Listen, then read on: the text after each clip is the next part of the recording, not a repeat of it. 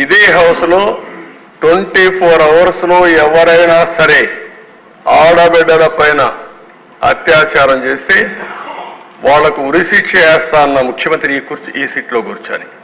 నేను అడుగుతున్న ఐదేళ్ళయింది ఈరోజు మాజీ ముఖ్యమంత్రి అయ్యారు. ఒక్కరిపైన చర్య తీసుకున్నారా సమాధానం చెప్పమని ఆనాటి ముఖ్యమంత్రిని క్వశ్చన్ చేస్తున్న దిశ. నేను ఈ విషయాలు ఆయన ఉండుంటే మొత్తం అతనికి కనీసం రియలైజేషన్ రావాలనుకున్నా వస్తుందో తెలియదు కానీ వాస్తవాలు ఆలోచించుకునే పరిస్థితి వచ్చేది. నెక్స్ట్ అధ్యక్ష ఎస్సీ ఎస్టీల పైన దౌడలు మీరు చూస్తే ఎస్సీల పైన పదివేల మూడు వందల డెబ్బై ఏడు క్రైమ్స్ జరిగాయి. ఎస్టీల పైన పదిహేడు వందల అరవై ఎనిమిది నూట తొంభై రెండు ఎనభై యాభై ఎనిమిది మంది చనిపోయారు. కిడ్నాపింగ్స్ కిడ్నాప్స్ పెరిగాయి. హర్ట్ కేసు పెరిగాయి. మొత్తం ఏడు వేల ఐదు వందల యాభై మూడు అదర్ కేసెస్ వాళ్ళపై జరిగాయి. ఎస్టీలు పన్నెండు వందల తొంభై రెండు. మహిళల పైన దేశ ఎన్ని కేసులు మీరు చూడండి. ఎనభై తొమ్మిది వేల ఎనిమిది వందల డెబ్బై ఐదు. మర్డర్సే రెండు వందల ఇరవై ఏడు.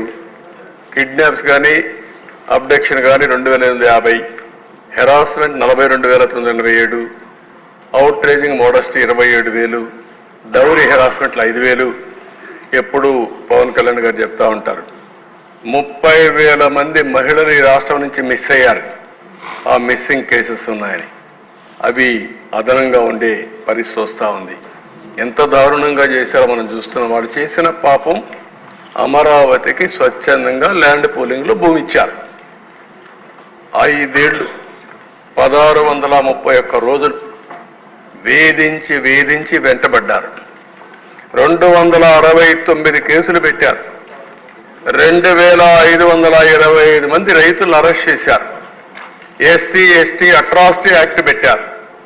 తిరుపతికి ఇక్కడి నుంచి నేరుగా దేవుని దగ్గరికి పోతే మనం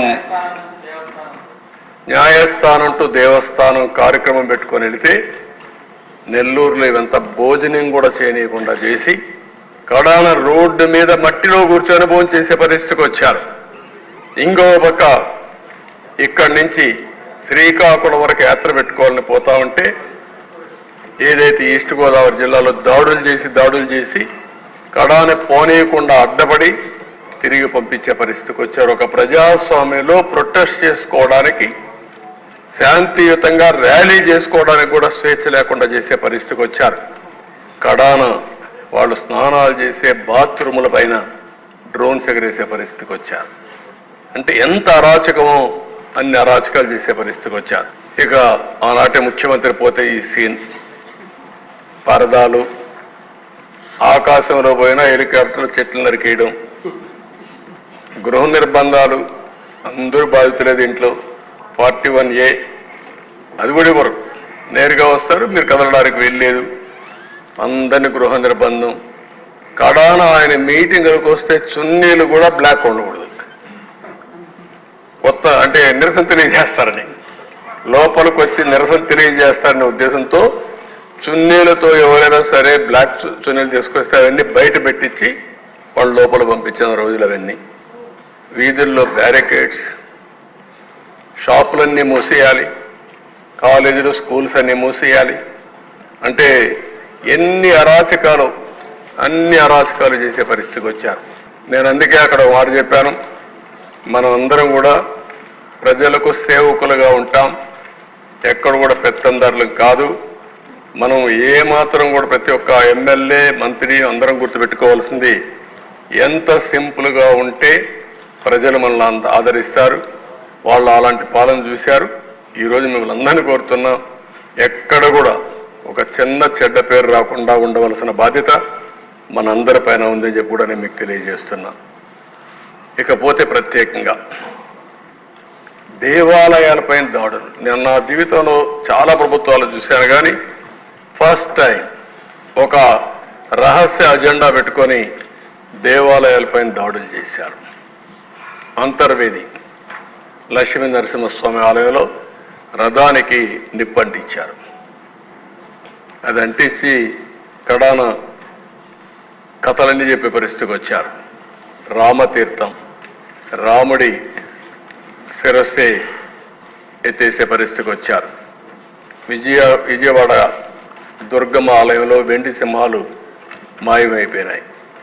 మంత్రాలయంలో అశ్వి నరసింహస్వామి ఆలయంలో నాగ శిరస్సు దెబ్బతినింది. నెల్లూరు జిల్లాలో వెంకటగిరిలో యాభై కిలోల పురాతన నంది విగ్రహం చోరీ గురైంది. నెల్లూరు జిల్లాలో రేజర్ల మండలం శ్రీ నీలకంఠేశ్వర స్వామి ఆలయంలో నంది రాతి విగ్రహం చోరీకి గురైంది. విజయవాడలో సీతాదేవి శ్రీరాముడు సుబ్రహ్మణ్య స్వామి విగ్రహాలు ధ్వంసం చేశారు. ఇవన్నీ కూడా మీరు చూస్తే ఒక్క మెసేజ్ ఒక్కప్పుడైనా ఇచ్చుంటే ఇలాంటివి వచ్చేటి కాదు. మేము రామతీర్థంలో ఇది జరిగిందని ఫ్యాక్ట్ ఫైండింగ్ కోసం మేము వెళితే నా మీద అచ్చెన్నాయుడు పైన కళా వెంకట్రావు అశోక్ అందరిపైన కేసులు పెట్టే పరిస్థితికి వచ్చారు. అంటే దేవాలయాలకు కూడా దెబ్బతీసే పరిస్థితి వచ్చారు. భక్తుల మనోభావాలు దెబ్బలు తీసే దెబ్బతీసే పరిస్థితికి వచ్చారు. కావాలని డెలిబరేట్గా చేశారనేది అందరి ఆలోచన. నేను ఒకటే చెప్తున్నా ఏ ప్రార్థనాలయానికి కూడా అపవాదు రాకుండా అపచారం జరగకుండా కాపాడాల్సిన బాధ్యత ప్రభుత్వాన్ని అది మసీదులు కావచ్చు చర్చలు కావచ్చు హిందూ దేవాలయాలు కావచ్చు ప్రతి ఒక్క ప్రార్థనాలయాన్ని ప్రార్థనాలయాల్ని కాపాడడం మన బాధ్యత. అలాంటిది విస్మరించారు.